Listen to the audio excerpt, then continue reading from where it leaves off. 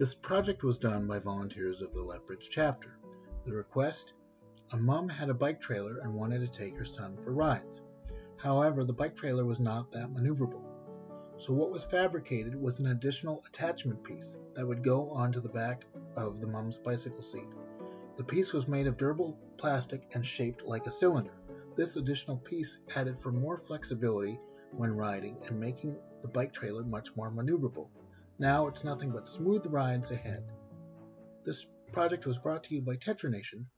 Don't forget to vote on your favorites April 18th to 24th.